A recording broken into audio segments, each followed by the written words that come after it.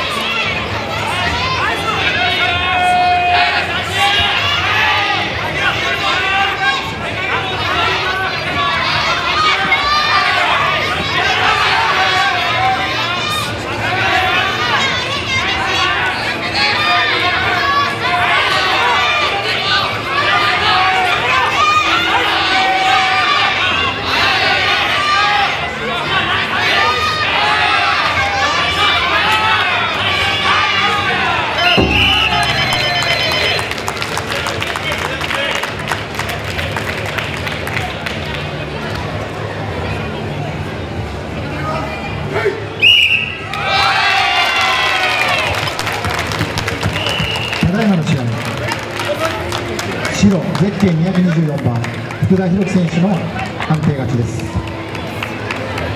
準優勝の富永富永選手優勝の福田選手本部席前で表彰を行います。皆さん拍手をお願いします。